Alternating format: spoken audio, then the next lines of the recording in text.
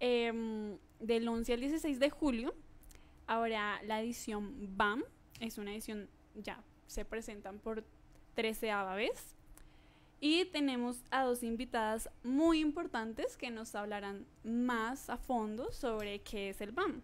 Eh, nos encontramos con María Paz Gaviria, ella es gerente de plataformas de la Cámara de Comercio de Bogotá, y Claudia Triana, que es la directora de Proimágenes Colombia. ¿Cómo están?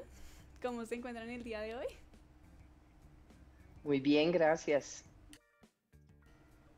Bueno. Muy felices de estar acá, poderles contar sobre esta edición número 13 del BAM, esta apuesta que tenemos por parte de Proimágenes Colombia y la Cámara de Comercio de Bogotá. Ay, qué alegría.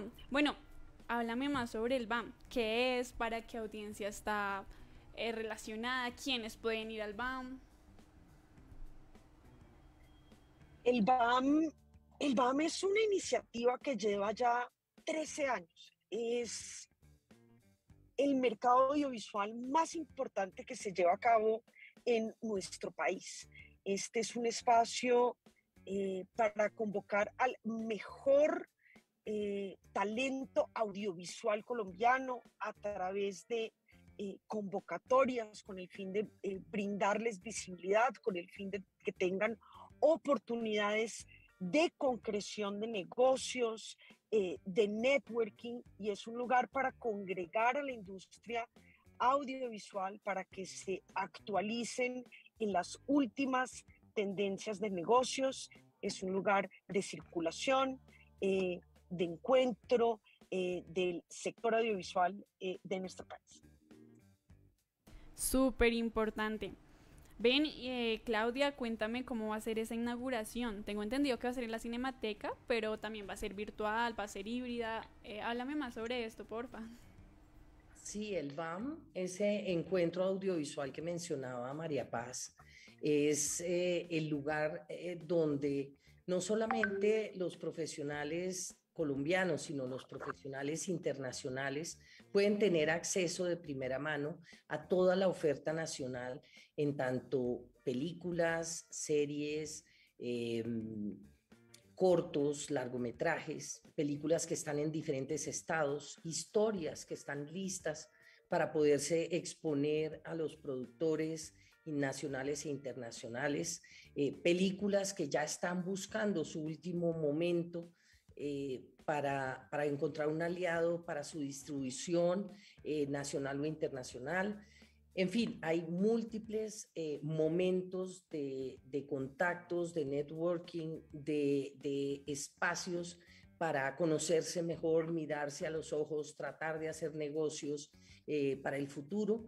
Y en la inauguración, que va a ser el 13 de, de julio, es después de que ya empecemos desde el lunes, tres días totalmente virtuales con relacionamiento uno a uno, con citas en la plataforma eh, y también con masterclasses donde puede acceder, pueden acceder todos los acreditados. Esa inauguración va a ser con dos cortos eh, de animación hay que resaltar que en Colombia la animación está teniendo un, una buena, eh, un buen desarrollo, es una, eh, digamos, un, género, un formato que se ha trabajado en Colombia eh, de manera individual, es decir, en cabeza de los creadores, pero de manera industrial y, y, con mayor fortaleza de las empresas, estamos apenas en ese, en ese nivel.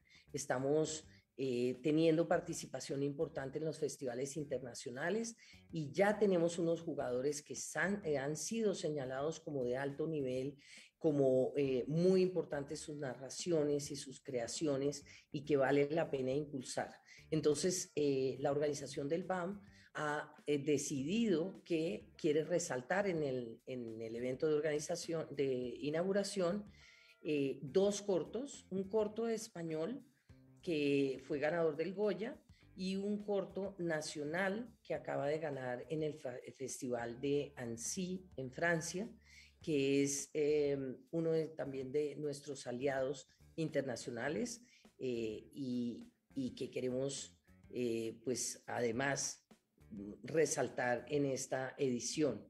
Entonces, ahorita no me acuerdo los nombres de memoria, pero, pero son dos cortos y bueno, tenemos la participación de un montón de países eh, y sobre todo delegaciones muy importantes de Italia, de Francia, de España, de Chile, donde vamos a tener reuniones específicas de relacionamiento entre productores nacionales, productores de esos países. Eh, gracias por estar en este espacio, de verdad, resaltando todas las actividades que van a pasar en estos días. El Bogotá Audiovisual Marker es sin duda un evento muy, muy, muy importante y yo quiero saber y tengo mucha curiosidad, la pandemia sin duda enfrió algunos procesos del desarrollo audiovisual en el país, pero ahora que ya se ha reactivado un poco la cultura, que la industria está volviendo a marchar sobre ruedas, eh, hablemos un poco de esa actualidad audiovisual que tenemos en el país. Quiero preguntarle a María Paz y a Claudia lo mismo. María Paz, tal vez empecemos contigo. Eh, bueno, eh, muchas gracias.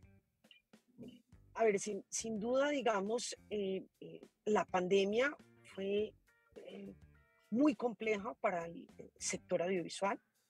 Un, sector, digamos, que depende de puestas, digamos, en escena, en, en, espacios de producción que pues frenaron, digamos, a nivel mundial, más en, en, Colombia eh, y que por su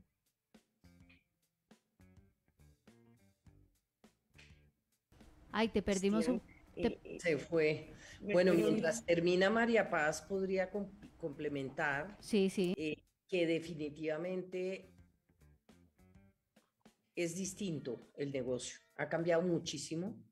Ya venía cambiando antes de la pandemia los hábitos de consumo, el mundo digital y las opciones de acceso a las, a los, a las narraciones, a, las, a los contenidos, pues ya venía el audiovisual cambiando y teniendo la gente que adaptarse a las nuevas maneras de ver, de acceder, de comunicarse. Pero la pandemia sin duda eh, hizo una explosión en cascada de esta situación. Y en este momento en el mundo entero se está viendo una constricción, eh, una falta de opciones de pantallas para las películas que están siendo represadas, las películas nacionales en este caso, que no son las películas del mainstream como las películas de los estudios de Hollywood, que por supuesto los exhibidores que tuvieron un cierre muy importante, eh, con unas pérdidas cuantiosas, pues están tratando de conseguir esos títulos que llevan a sus salas de una manera masiva a toda la familia. Entonces, estas películas, por ejemplo, de, realizadores pequeños o de cine de autor, está teniendo, no es solo en Colombia, en todas partes del mundo, eh, unas dificultades grandes para encontrar espacios para que las vean, para que las consuman. Y eso trae consigo entonces los distribuidores pues están más esquivos, los agentes de ventas están menores, algunos quebraron, eh, en fin, hay, hay otra manera de pensar ahora y de tratar de involucrar a las grandes estudios que ya no son pues los de Hollywood, pero sí son las grandes plataformas como Amazon, como HBO, como Disney, como, como Netflix. Eh, y, y en esas estamos todos como con unas antenas tratando de monitorear lo que está pasando y lo que puede pasar para identificar las mejores oportunidades y apoyar institucionalmente y con las políticas de apoyo del gobierno nacional eh, y, y, del sistema mismo de apoyos que se ha construido a lo largo de los últimos 25 años, pues cómo apoyar mejor y seguir estando en el mapa ser competitivos es uno de los derroteros importantes que compartimos con la Cámara de Comercio de Bogotá.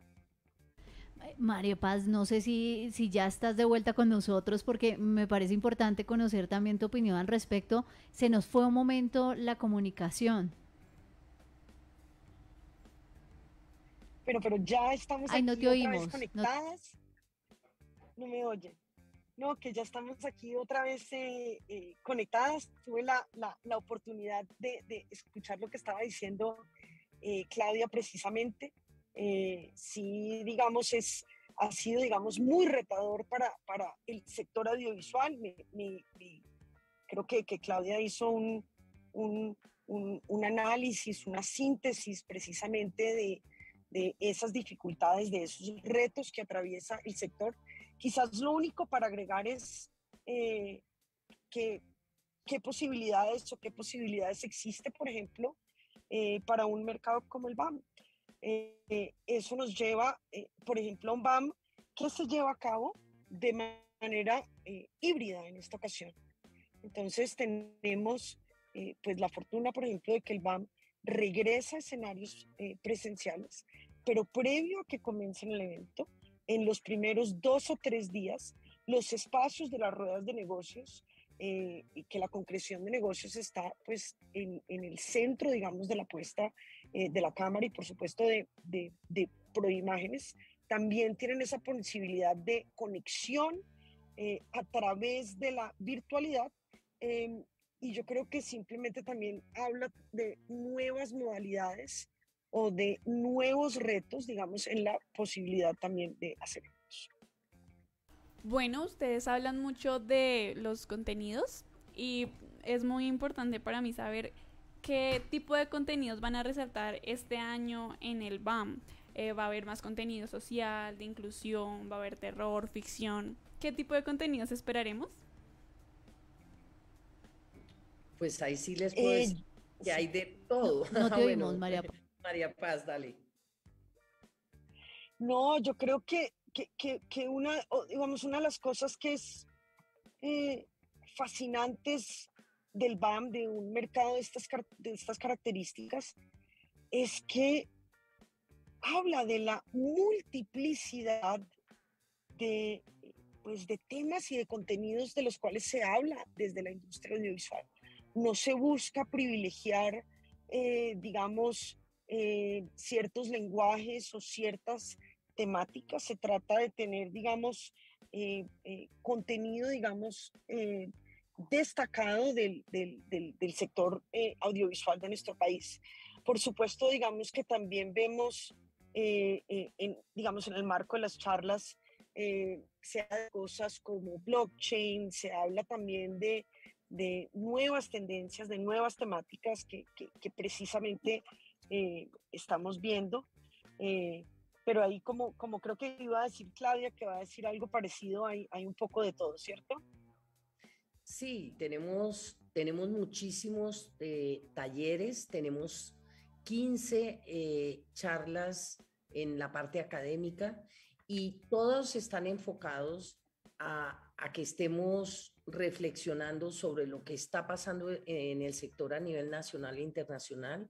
Y por supuesto, una de las preocupaciones eh, nuestras es la inclusión, es eh, involucrar y hay toda una...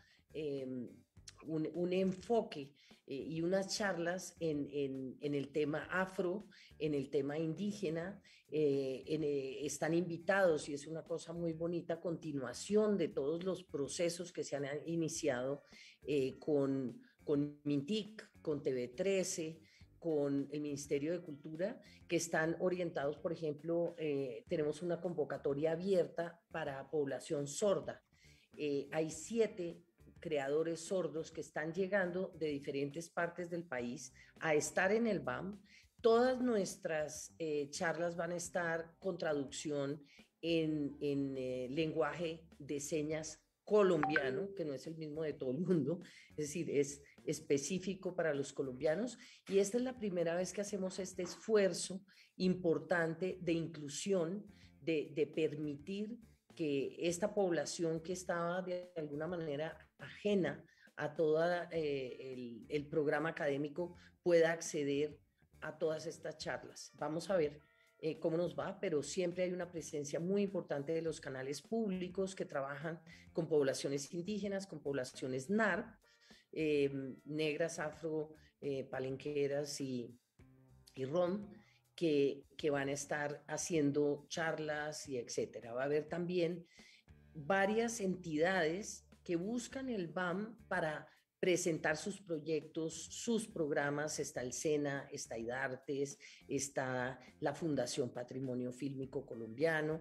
Entonces, tenemos multiplicidad de, actividades eh, y hay 23 eh, stands de diferentes instituciones, empresas y organizaciones que están queriendo hacerse presentes con sus servicios y con su potencial para hacer alianzas con todo el sector profesional e eh, industrial de, de Colombia. Y por eso hablamos de contenidos, porque todos están enfocados alrededor de los contenidos audiovisuales que necesitan servicios, por supuesto, que necesitan difundirse, que necesitan concretar sus producciones y hay que saber que en Colombia ya prácticamente no hacemos películas solos, tenemos que buscar aliados internacionales para lograr sacar adelante todos estos proyectos y pues también para las series.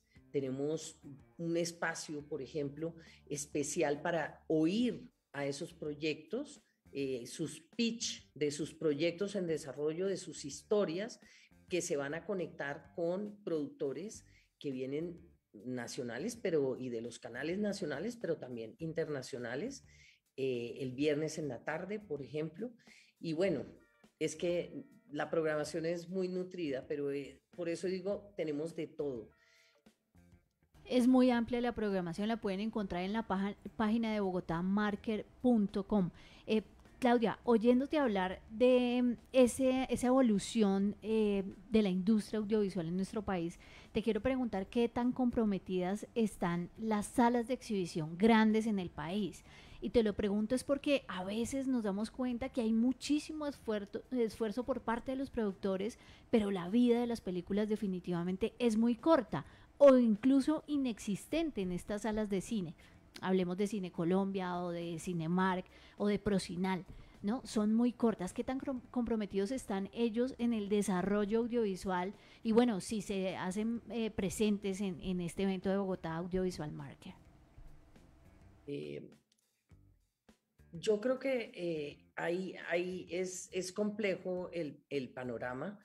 Yo sí creo que están presentes. Cine Colombia concretamente es uno de los aportantes al, al, BAM, está en los órganos de dirección de Proimágenes Colombia y del Consejo Nacional de Cine, eh, de manera que sí están muy involucrados en el sistema y de hecho hay distribuidores y exhibidores que están tratando de hacer un esfuerzo importante por sacar adelante las películas nacionales. Mm, le puedo decir que eh, Cinecolor, que es el representante de Disney en Colombia, tiene una película que va a llegar pronto, que es la última de Laura Mora, eh, que se llama Los Reyes del Mundo, eh, y, la va a distribuir y va a buscar que tenga salas de cine en el competitive, que es como, como el, digamos, la, la lista de posibles estrenos de aquí a diciembre. Cine Colombia tiene dos estrenos nacionales entre otras La Jauría, que fue la que ganó ahora en, la Semana de la Crítica del Festival de Cannes. Entonces sí están haciendo un esfuerzo. También es verdad, como lo decía al principio, que están buscando cómo devolver a la gente a las salas de cine. Y eso es un trabajo de todos.